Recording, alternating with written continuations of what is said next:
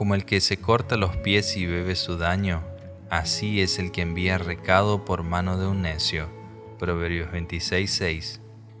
Precisión para transmitir la palabra.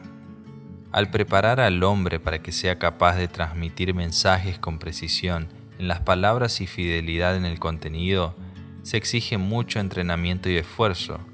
Es muy común que la comunicación se deforme o incluso que se produzca un efecto contrario al deseado, luego de pasar por varios interlocutores.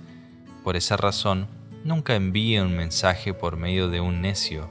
El resultado será como si se amputara los pies y solo quedará a esperar el daño que ciertamente vendrá.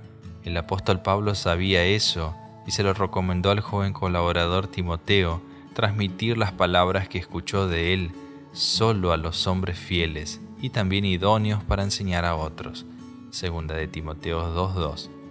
Tenemos que tomar en serio las palabras de la profecía y en primer lugar, nosotros mismos necesitamos pedirle a Dios un espíritu de sabiduría y de revelación para entender con exactitud, para luego transmitirlas fielmente a los demás.